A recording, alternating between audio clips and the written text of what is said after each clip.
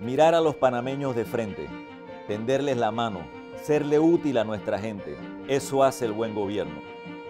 Ir de puerta en puerta, uniendo más en cada paso, dando lo mejor de cada uno, así camina el buen gobierno.